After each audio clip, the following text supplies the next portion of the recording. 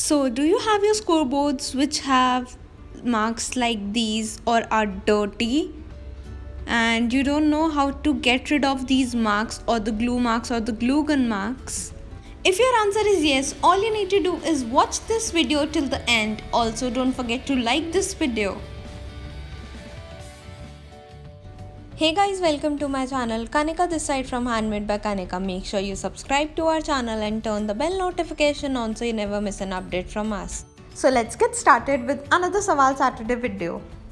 So here are three of the scoreboards which I have. This one is the mini scoreboard from Dress My Craft. This one is the multi-purpose scoreboard from Dress My Craft. And the third one which I have is the Martha Stewart scoreboard. So if you want to know more about the Dress My Craft scoreboard, you can check out the description as I have linked a detailed video over there. Today in this video, I shall be showing how you can clean up your scoreboard. So the first thing which I am going to apply on my scoreboard is this archival ink in the shade Jet Black. I'm using distress ink. So what I'm going to do is I'm just applying some of the products which might be on your scoreboard.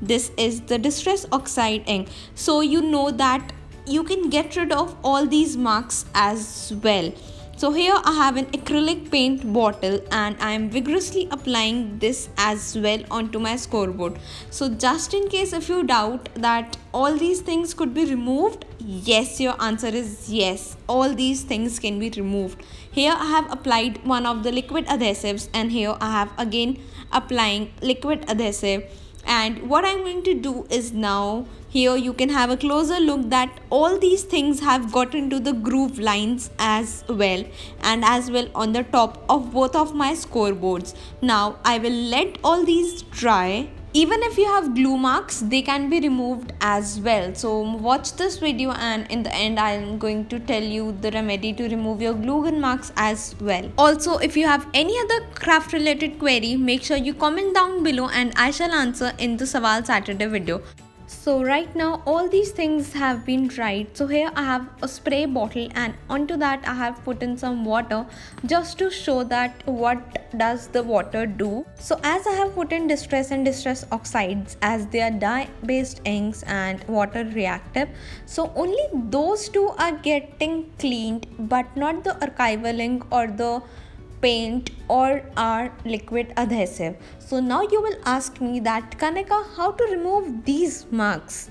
So the answer is very simple. If you want to get rid of your all these dirty marks so all you need to do is take another spray bottle and onto that i have added a secret ingredient which looks like this. And you know what is the secret ingredient this is nothing but a simple liquid hand sanitizer. But wait you can as well use these type of hand sanitizers. But one thing you need to make sure is that they should have more than 60% of isopropyl alcohol into them. And as well you need to know how to use that. So here i have a cotton cloth. That's the rough cloth. So here what i'm going to do is i'm just cleaning the water off. But if you are using hand sanitizer the first thing you need to make sure is that you turn off fan as they evaporate very fast. And simply i am sprinkling it out and you can see the things getting removed within one go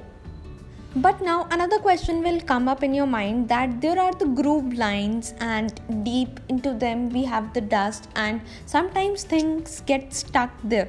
So how to clean that up? So what I can do is instead of just doing it like this, what you can do is simply sprinkle that sanitizer the liquid sanitizer and you can use any brush which has this hard bristle and you can simply rub it down like this. So basically we use this brush for cleaning our utensils. So i have that and i'm just sprinkling the hand sanitizer and you can see i have cleared all the dirt and everything. Can you see how clear it has become now so like that you can clean up and after that if you want to remove the dirt you can simply wash off your scoreboard under tap water and it would be clean. Now the question comes up how to get rid of the glue gun marks as a lot of people work with glue guns while scoring and have a lot of glue gun marks onto the scoreboard. So if you want to get rid of the glue gun marks from your scoreboard so all you need to do is onto the portion where you have your glue gun marks. Simply use your heat tool or your hair dryer.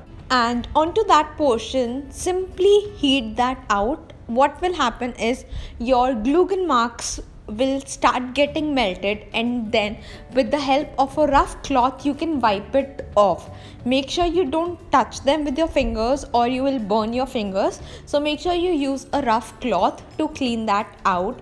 And likewise you can get rid of anything from your scoreboard I am sure this will help you out and if it does, do comment down below that this video helped you to clean your scoreboard and as well you can tag me on Insta stories. I would love to see your new clear scoreboard and I would love to repost them.